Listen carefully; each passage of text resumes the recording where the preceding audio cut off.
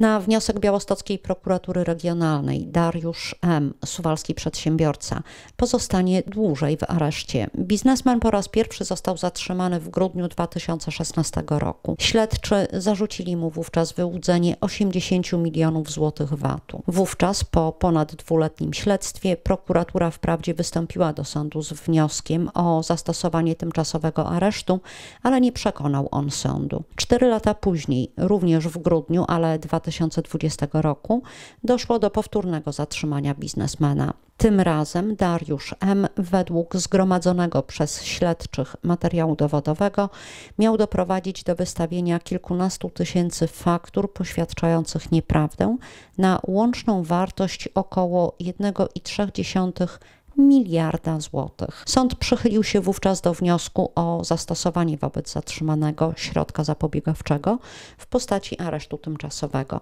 ale dał też możliwość zwolnienia Dariusza M. z aresztu po wpłaceniu 3-milionowej kaucji. Prokuratura odwołała się skutecznie od tego postanowienia. Areszt miał potrwać do początku marca. Do sądu trafił jednak kolejny wniosek prokuratury regionalnej i po jego pozytywnym rozpatrzeniu sankcja została wydłużona. Dariusz M. pozostanie w areszcie do końca maja bieżącego roku.